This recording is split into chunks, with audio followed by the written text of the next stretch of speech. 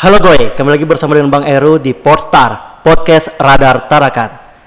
Kali ini kita ingin bahas yang lebih ini sih, mengedukasi pastinya dan kita mengundang narasumber yang tentunya kalian warga Tarakan dan bahkan Kaltara pasti tahu.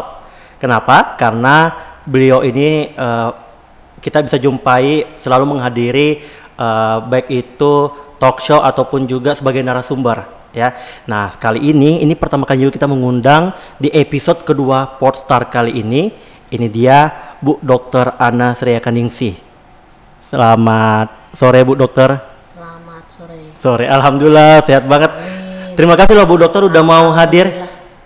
Ya, sama-sama saya juga terima kasih sudah diundang untuk berbagi di sini. Alhamdulillah ini Bu Dr. Ana langsung hadir di Portstar kita kali ini. Alhamdulillah Bu Dokter ini kelihatannya sehat banget hari ini. Ya, amin. Alhamdulillah. Alhamdulillah Bu Eh, Dokter ya. Menjaga supaya selalu terlihat energik, bugar gitu ya. Benar sekali. Bu Dokter Ana ini masih apa nerima-nerima kayak sebagai narasumber gitu? Eh, itu merupakan apa ya? Di kan di sisi daripada seorang pendidik Oh iya. Nah, itu merupakan implementasi daripada ilmu. Sehingga kalau diundang sebagai narasumber artinya eh, saya harus tetap selalu mengupdate juga keilmuan itu. Wih, mantap Bu Dokter Ana. Ya, Bu Dokter Ana ini juga lulusan S3 Unmul. Unmul. Terbaik satu, Bu Dokter Ana. Alhamdulillah. Alhamdulillah. Luar biasa ya. Bu Dokter Ana juga memiliki dua anak ya. Ya, Yang pertama S- eh, menempuh pendidikan S2 Teknik Sipil, ya. yang kedua masih Masih semester masih tiga. semester 3. Pendidikannya juga bagus Bu Dokter Ana ya. Amin. Oke, Bu Dokter Ana, kita ini pingin membahas ada beberapa hal sih, Bu Dokter Ana. Cuman memang Bu Dokter Ana ini juga selain penulis buku, eh, juga dikenal sebagai yang sangat aktif di bidang sosial maupun eh, mendonor darah. Iya. Siapa sih yang nggak kenal Bu Dokter Ana di PMI? Iya. Pasti kenal banget, selalu aktif. Ya, Bu Dokter Ana, kita ingin tahu sih, ini kan juga untuk eh, memberitahukan kepada masyarakat Tarakan dan juga Kaltara.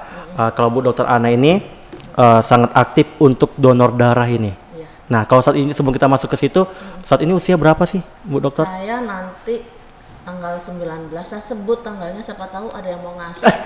Oh, boleh, boleh. Sepotong nanti dia mau kasihkan anu ya, kado ya. tanggal 19 Januari. Bentar itu lagi. 55 tahun. 55 tahun.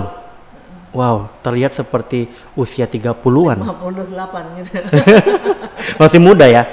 Iya, Wah. masih masih usia produktif kalau di ringnya eh, WHO eh, itu kan kita masih usia produktif 14 sampai 65 toh. Iya. Nah, 55 jadi belum tua. gitu. Belum tua, iya. Tapi masih terlihat bugar dan sehat, Bu Dokter Ana. Nah, sel- eh, apa sih tips dari Bu Dokter Ana bisa Apa menjaga ya? kesehatan? Akhirnya bisa sampai saat ini eh, melalang buana mengisi eh, materi-materi dan juga mendonor darah. Iya. Kalau di rumah itu Dokter Ana itu menjaga kesehatannya seperti apa? Olahraga itu pasti Oke, paling olahraga. enggak eh, minimal seminggu tiga kali sesibuk-sibuknya. Oke. Nah, itu tapi saya selalu bisa jogging tiap pagi atau sore. Jika pagi saya ada kegiatan, ya saya sore. Kalau sore ada kegiatan, saya pagi. Pokoknya harus. Oke, Gitu. oh jogging ya. Ya, itu dan ikut senam juga sih di Oh, berarti senam, gym gitu. jogging Ah, gitu ya. ah, gitu. Oke, ini mungkin tim-tim ini harus ikut ikut juga ya Harus, biar sehat. seger gitu. Segar ya, Bu Dokter Ana ya. Energik gitu. Oh, berarti olahraga. Ya, olahraga. Setelah olahraga apa nih? Nah, terus kemudian eh, pola makan saya selalu jaga, tapi bukan berarti diet ya itu sudah nggak jadi. Awalnya memang diet, tapi sudah nggak jadi diet. Sekarang udah jadi pola. Saya kan karbo eh, less gitu ya. Oke. Nah, ah, ya, terutama nasi. Jadi sayur, buah, air putih itu selalu banyak. Jadi kami selalu sedia bangun pagi air putih Air putih. air putih ah, se- kebetulan eh, mineral saya nggak boleh sebut merek kan mineral Mineral. Oke, Bu Dokter Ana. Nanti kalau sponsor masuk boleh kita sebutkan. Iya. Oke. Bu Dokter Ana, ini saya mau juga mau tanyakan langsung nih karena Bu Dokter Ana sudah ada di Portstar. Beneran Bu Dokter Ana nggak makan nasi? enggak kalau misalkan dihitung itu sampai sekarang ya usia anak saya yang pertama itu eh anak kedua mulai di situ itu sudah 19 tahun berarti saya sudah 17 tahun 17 17 tahun tidak makan nasi. Iya. Apa jadinya aku yang kalau ngikut dokter Ana nggak nggak nggak gemuk kayak begini? Eh, perut 17 tahun tidak makan nasi. perutnya bisa sih pack kalau nggak makan nasi. Itu one pack tuh. Benar sih. Jangan sampai dengar sama Azwar ya. Oke, Bu Dokter Ana, 17 tahun tidak makan nasi. Jadi yang dimakan apa? Sayur, buah, apa aja yang jelas tidak nasi. Waduh, ini kalau yang nonton ini pasti bilang ah, nggak mungkin. Iya. Tapi Bu Dokter Ana bisa tahan. Tahu udah nggak pengen udah. Saya hanya butuh satu bulan. Saya hanya butuh satu bulan waktu awal. Nah itu eh, minggu pertama itu emang nggak bisa tidur gelisah. Cuman saya eh, tetap konsisten ya. Nah dua minggu udah enak.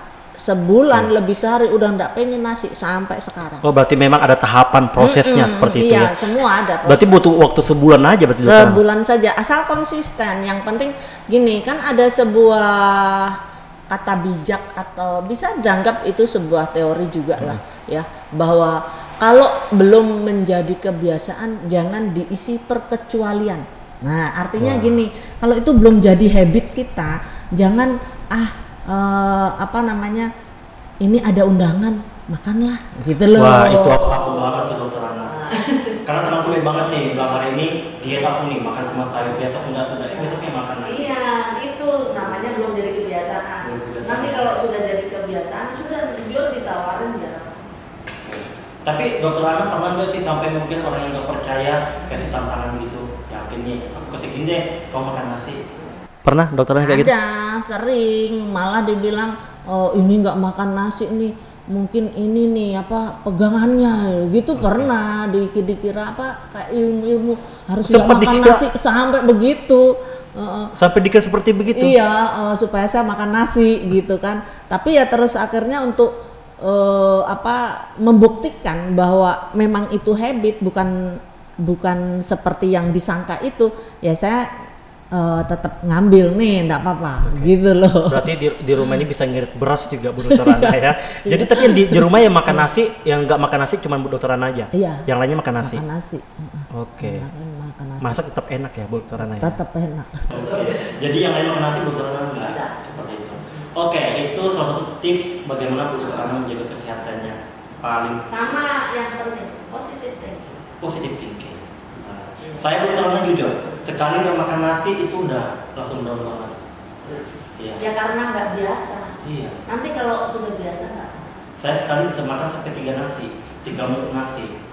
Dicoba aja karena itu kebiasaan tiga muk nasi, jadinya kebiasaan lagi. Oke, Dokter Ana juga mungkin ini masyarakat akan tak ingin tahu apa yang dirasakan ketika nggak makan nasi, apa yang perubahan besar. Awalnya, awalnya ya, awalnya waktu itu ya namanya juga saya orang Indonesia yang makan nasi itu biasa ya.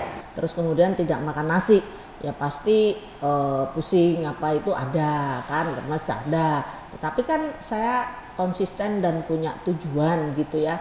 Nah jadi ya eh, saya ingin ke arah itu. Itu kan dasarnya gini pak. Awal kenapa saya nggak mencoba eh, diet karbo gitu ya awalnya emang diet karena saya waktu itu anak kedua itu berat badan saya itu naiknya sangat signifikan. Oh iya, dulu berapa Ya, sih dok? saya sih biasanya 51 gitu 50 wi- wajar gitu. Cuman pada saat uh, saya hamil anak kedua peningkatan berat badannya itu naiknya signifikan hingga jadi 70-an 8 nah usia saya waktu itu 36 usia segitu kan sulit untuk eh, hanya eh, mengandalkan sekedar olahraga semakin olahraga semakin semakin lapar gitu kan akhirnya saya terinspirasi eh, untuk tidak makan nasi itu dari teman saya yang pacarnya bule nah, Oke. disuruh tidak makan nasi dia gemuk cepet nah saya terinspirasi Dari itu saya ya? ikut-ikut itu Kalau sekarang berat beratnya berapa? Saya atas berat badannya 55 55 itu segitu aja. sudah heeh. Oke. Cukup, mm-mm. Berarti memang ya untuk menjaga pola sehat ya, tidak makan nasi. Berarti makannya sayur, sayur, air, buah, ubi-ubi. gitu.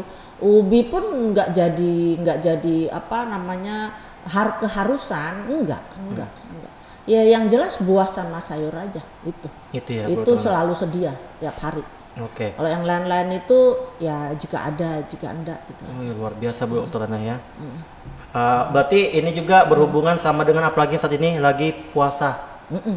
Itu Ditambah juga puasa lagi. Iya, Waduh. puasa. Saya puasa juga sudah dari mungkin bisa dibilang gadis karena eh, meskipun saya Nasrani tapi keluarga besar saya itu Muslim, terutama nenek kakek saya tuh semuanya Muslim. Nah saya terbiasa juga ikut eh, nenek waktu masih kecil-kecil itu. Nah terpola dari kebiasaan nenek dan kakek saya yang biasa Senin Kemis. Senin Kamis Iya, puasanya. Iya, Ya, orang Jawa itu eh, kental juga yang eh, kayak gitu-gitu gitu ya, gitu. Nah, itu saya udah terpola.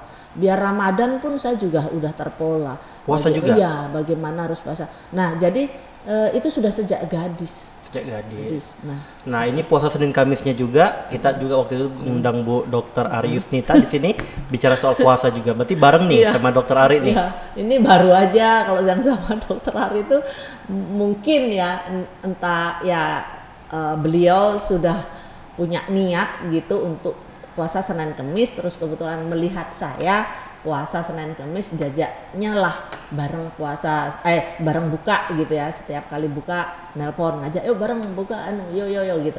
Nah sudah beberapa kali kami buka puasa bikin komunitas yuk. Akhirnya Senin berkomunitas ya. Kemis gitu. Terus oh iyalah bagus saja itu. Saya bilang gitu kan memotivasi orang lain untuk eh, ber apa namanya itu ini kan juga termasuk meskipun kalau di muslim sunnah gitu ya Iya. bisa bisa iya bisa enggak gitu kan tapi baik.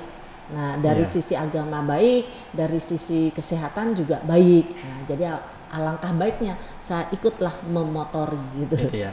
Oke, dari pola kesehatan yang dijaga oleh Dokter Ana 17 tahun tidak makan nasi uh, membuat Dokter Ana menjadi perempuan pertama mungkin di Tarakan atau bahkan Kaltara yang mendonorkan darahnya mau uh, saat ini udah mau 99 99 pertama Iya. Bu Dokter Ana ini perempuan pertama, Tarakan bahkan juga Kaltara Kaltara. ya Bu Dokter Ah, Ana ya ah. 99 kali, Kali. mendonorkan darahnya di PMI bahkan Iya. udah dikenal banget nih Iya. Bu Ana Iya. itu luar biasa Iya. sejak usia berapa Bu Dokter Ana Itu dari tahun 1999. oke Tapi saya jeda 2 tahun karena hamil. Kan nggak boleh ya hamil dan menyusui. Terus akhirnya eh, jeda lah 2 tahun terus kemudian saya lanjut lagi. Tapi dulu itu kan tiga bulan sekali. Terus kemudian ya mungkin eh, bidang ilmu kedokteran semakin berkembang dua bulan setengah.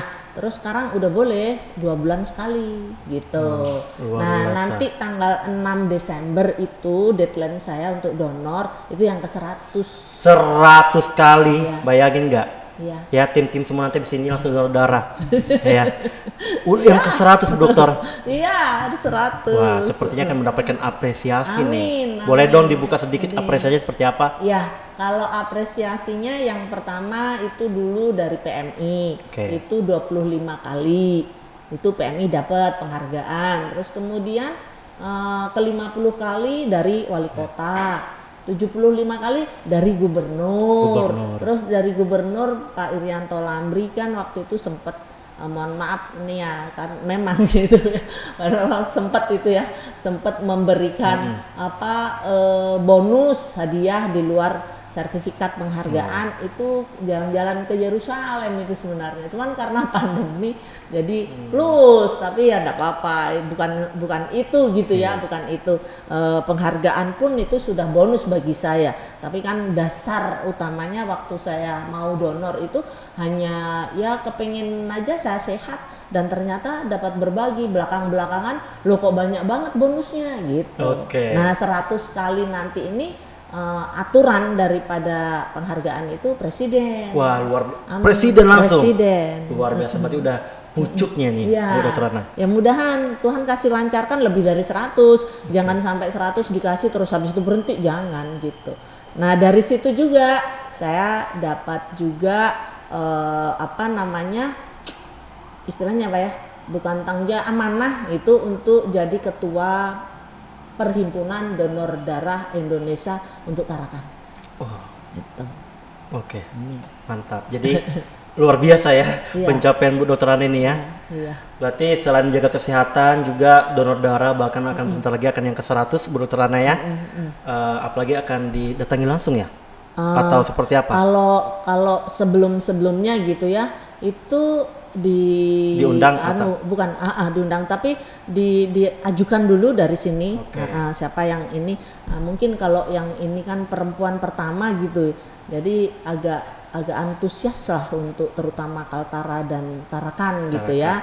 Kan juga pasti tercatat oh di Kaltara ada pendonor wanita. Wih, luar biasa. Pahlawannya donor darah ini Bu Dokter Ana. Nah itu nanti diajukan ke sana terus ya proses ya diundang. Gitu. Oke, mantap Bu Dokter Ana. Semoga bisa terus Bu Dokter Ana ya. Amin, amin.